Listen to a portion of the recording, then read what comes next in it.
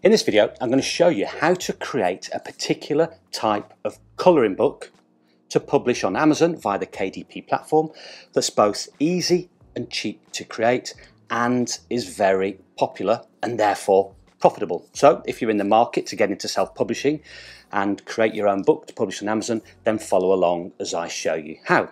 Now, if you've not been to this channel before, then welcome. My name's Paul Marles and I do videos on how to make it, keep it and grow it, and that's your money I'm talking about. And if you do like videos like that, then please do give it a thumbs up, hit the subscribe button, and smash that notification bell to receive notification of when I produce more videos like this. So, what type of colouring book are we looking at today? Well, it's the short phrase, quotes, motivational quotes, affirmations. There's many different types, but it's those types of colouring book we're looking at. And as I mentioned earlier, they're very popular indeed.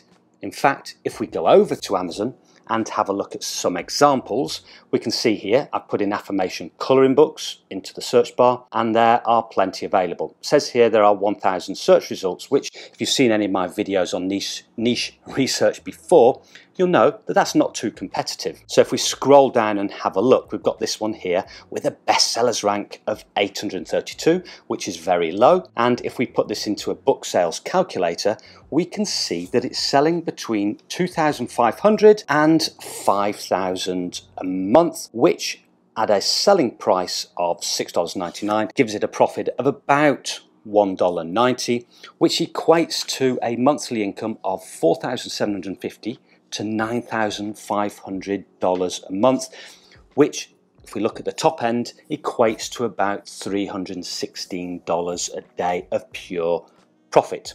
Now, I know these figures do trigger some people. Um, they say, oh, you know, it's a scam, it's impossible to make this sort of money, and, you know, I'm giving everybody false hopes. But I've said before, these books are created by people like you and me and so, if they can do it, so can you. And if we scroll down, you know, there's lots of examples of these types of books with low bestsellers ranks. Here's one, 2,113. There's, there's lows, 14,140. Uh, is another one, 7,000. These are all selling well. Now, if we just take a quick look um, inside this particular book, we can see here that the pages, the interior, are quite basic. We've basically got this quote here on a patterned background. And that's what I like about these particular type of books. You don't need great artistic skills because you don't need to be drawing or creating images or outsourcing um, images at sort of great expense to create these sorts of interiors. Uh, and the method I'll show you is relatively simple and is very effective. Now let's just have a look at some different types of, of books on Amazon. So here I've put in the search term quotes colouring book. And again, we've got lots of examples if we scroll down. Uh, another good search term or type are psalm colouring books. Now these are quotes or short phrases from the Bible. And when I saw this, I started to think, well, could you do similar colouring books with quotes from other religious texts? There's an idea for you. And another popular one are, and I do apologise if this offends anyone, but swear word colouring books. But I have to show you these because these are insanely popular and profitable. Here's one with an extremely low bestsellers rank of 181. That means it's the 181st best-selling book on Amazon.com in the US as a whole. So that's pretty good. And all these have got very low bestsellers ranks. Now, when I was thinking of different sub niches within this or different types of books, um, I thought about things like maybe quotes, sayings, short phrases related to professions or, or sports or, or hobbies. Just ideas for you to do your own research on Amazon to see if there is a market for those type of books. If there wasn't, and you can create these easily, you may want to think about just experimenting and trying with those different sorts of niches.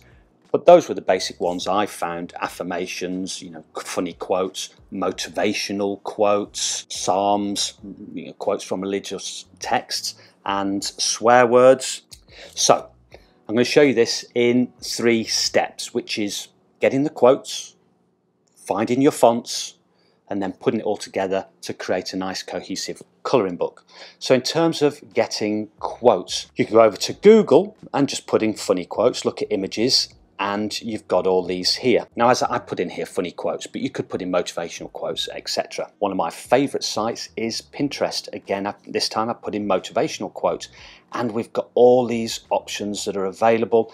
And I find Pinterest one of the best sources for things like quotes. One of the other sources, you could go to a site like Redbubble where people um, create merch, create t-shirts, etc. And again, all I've done here is put in quote and you've got all these ideas for different types of quotes that are currently popular and trending on Redbubble. You can also search for trending and best selling like these here. Again, they're just examples. Now, a common and good question I often get asked is what's the issue with trademark and copyright around using these quotes and phrases that you find on the internet? Well, in general, and I say in general, quotes can't be um, copyrighted. That is, short phrases and quotes can't be copyrighted. However, there is a caveat to that in a moment. However, they can be trademarked. So what I suggest you do, first of all, is if you find something you want to use, is go over to the uspto.gov website and search, just put in here the, the quote or phrase that you're you're searching for. Here I've pushed, put just do it.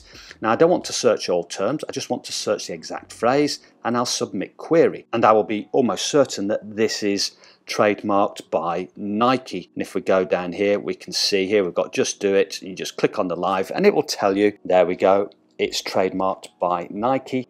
So you don't want to be using that. You can go over to the equivalent site in the UK, and that is .gov.uk slash search for trademark and do the same sort of search. And you could do a Google search for um, trademark searches in any other countries, markets that you're thinking of publishing in. Now, I said there was a caveat to the issue with re regards copyright and short phrases. Now, I've done my reading and I'm going to give you a link to this document here which explains about copyright. If the particular phrase conjures up a, a particular image or maybe a product. Uh, an example given is the phrase ET phone home. Now, I've not checked that for trademark, but if it wasn't trademarked, you may go, okay, that's fine, I can use it because you can't, in general, copyright a phrase. However, they say that if it conjures up a specific image um, of something in particular, then that could well be copyrighted. And ET phone home conjures up the, the images or, or the film uh, E.T. that was published, uh, which was created many years ago in the 80s. So in that respect, that particular phrase would be copyrighted. So it is a bit of a grey area. Now what I suggest doing is if you do have a phrase and you feel you really must use it, but you're not sure, then my suggestion is consult a copyright lawyer. So now we've picked our quote or you pick some quotes, we want some good fonts. Now in general, um, a lot of these colouring books use script or handwriting type fonts. Now, what you can do is go to Google and just search for free fonts, and you've got these websites here. Now, what you need to make sure is when you pick a font is that you have commercial uh, use. Now, some fonts you may find are, are in the public domain, uh, such as this one here, but you'll find that others are free only for commercial use, like this one here and in which case you would have to buy the commercial license. Now, if you're using things like Adobe Illustrator, um, you'll find that the fonts there you can use, and I think that's the same for you know fonts you find on Microsoft Word. You can use those commercially. If you're worried about commercial licenses and you want to pick a, a font that's not on Adobe or, or Microsoft, then a good place, and this is a resource I use, is Creative Fabrica because then you know you've got the commercial license to use these and I just searched for script font and we've got pages and pages of options. Now Creative Fabrica will also be useful for the, the pattern background that we're going to be using later. But you can find similar sites that, that provide these different graphics and fonts, things like Design Bundles is another website I've used. But Creative Fabrica, I do have a, um, an account uh, with these that I've had for nearly a year and are great for fonts, graphics, and, and uh, also KDP interiors. I'll leave the link to it down below. Now, if you really wanted to splash out and get something bespoke, you could go over to fiverr.com and I put in here phrase colouring book and there are people that will create your interiors for you with quotes on various backgrounds. And here's one I saw which I quite like the look of. This is sort of a doodle style colouring book with a quote in the middle. And they say they'll create a basic page for six, uh, says here, six Australian dollars, 74 cents, because I'm in Australia. However, if you wanted this for commercial use, because you can see this is not ticked there, um, it would cost 20 Australian dollars, which is about, I think, around about 15 US dollars. So if you're doing a 60 page colouring book, you'd need uh, about 30 images because often you have a blank page because of bleed of, of of colouring pens going through the page. So 30 at that price, you're looking at around about 450 US dollars. Um, which would obviously save you a lot of time doing it yourself. And it's the same with a lot of these uh, creations of, of books, any type of book. You can take pay for shortcuts, and so you pay the money, but it will save you time. But there are free options available. It just takes your time. And what I'm going to show you now is a free option. Now, the software to use to create these interiors needs to be vector editing software. I'm going to be using Affinity Designer today. Other software is Adobe Illustrator. Free versions are Inkscape and Gravit Designer. Now, Gravit Designer only has basic functions in the free version. If you wanted extra functions, you'd have to pay for the pro version. What I'm going to show you today, you can easily do in the, in the free basic version. So let's open Affinity Designer. Now, this is just a basic quote I'm going to be using today create a life you love. Now, this is just in a basic Arial font. So, first of all, I'm going to put a bounding box around all these words, and we're going to change the font to brush script. Now they're not really aligned in the center, so again another bounding box around all the words. Click on this box at the top or wherever it is on whatever software you're using and just click align horizontally. Now we want people to be able to color in these letters, so again another bounding box around all the letters. Now up here in the top right hand corner we have options for stroke and we have options for fill color. Again you'll have similar options on whatever software you use. So we want our fill color to be white. So to move this slider over. Now you'll see our words disappear. And we want our stroke to be black. So I'm just going to click, uh, move our slider along to black. Now you can see we've got our outlined words. Now you can adjust the size of the stroke. You can make it really thick, that's no good, or really thin, so it almost disappears. I'm just going to set this at 3 for the moment because I think that will work well. Now what we need next is a background. So I'm just going to go back to Creative Fabrica I put in um, floral patterns and we've got these here which are actually designed for colouring book pages. So if I click on this option and just click on download now you'll notice we've got full print on demand usage allowed so we can use these in books. So I've downloaded that, go back to Affinity Designer and from wherever it's downloaded you just drag that onto the page. I'm going to move that into position and just holding down command or control just going to drag that so it covers the page. Now that's covering our letters. So on the right hand side where we have our layers box, I'm just going to drag that to the bottom. So now we have our words over our patterned background. This looks okay, but it does look a bit messy. So we're going to create an effect which I think you'll like. So for the moment, I'm just going to switch off. I'm just going to click this tick here just to switch off our colored background.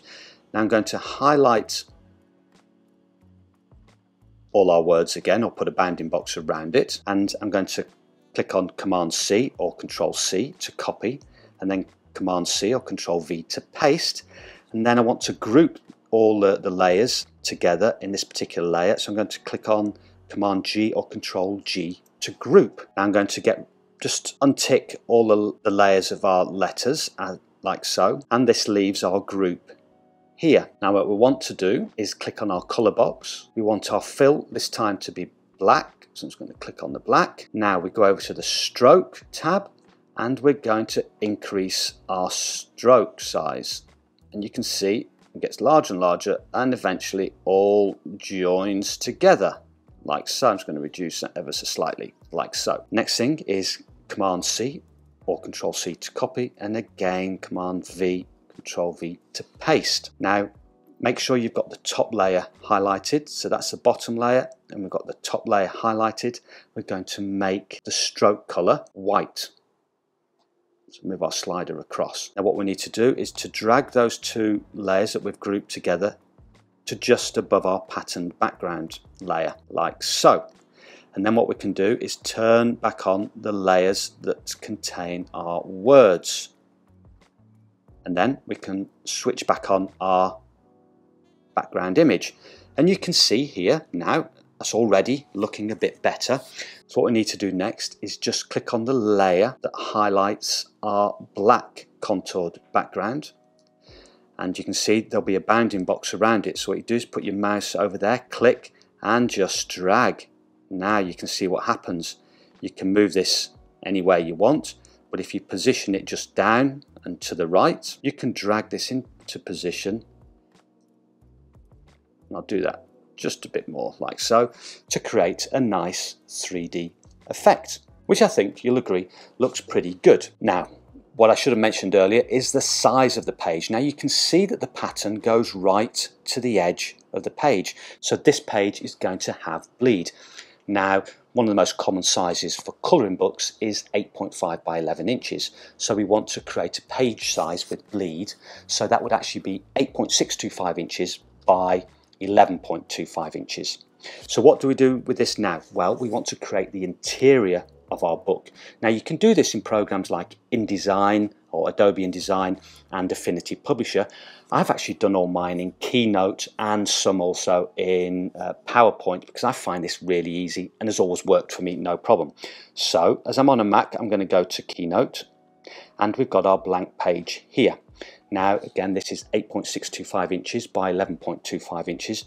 With Keynote, you have to convert that to points. On PowerNote, you can just create the page size from those dimensions itself. Now we've got our first page here, which is blank. Now I'm just going to copy that page and just paste. I'm going to create just four pages. Now you could keep going if you want to create all the pages for your colouring book. In this case, you know, could be 60 pages, so we could go all the way down to 60. So we go back up to the first page. Now what we do is go back to Affinity Designer, put a bounding box round all our document and then just copy, go back over to Keynote and just paste. Now for some reason, and I cannot work this out, it's leaving a tiny little white border at the top. So if you find this happens, it's no problem. Using the arrow keys or just drag, you can move that up to the top and then just increase the size like so. And there we've got our first page. Now the second page, which is the page behind this one, um, I normally leave blank. Some people do do these black, so make them all black. I don't like that because often when it gets printed out, it doesn't look right. You can often sometimes see very fine little lines down there, and I don't think it looks very professional, but that is an option if you choose to do it. I just leave it blank and white.